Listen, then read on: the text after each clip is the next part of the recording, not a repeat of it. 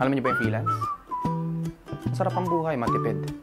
Freelance, free dinner, free merienda, may free board and lodging na rin.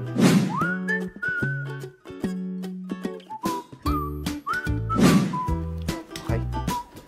Two whites, one yellow. Two whites, two whites, two whites. Ano ba yung DTI representative natin? Okay. Two whites. Pour.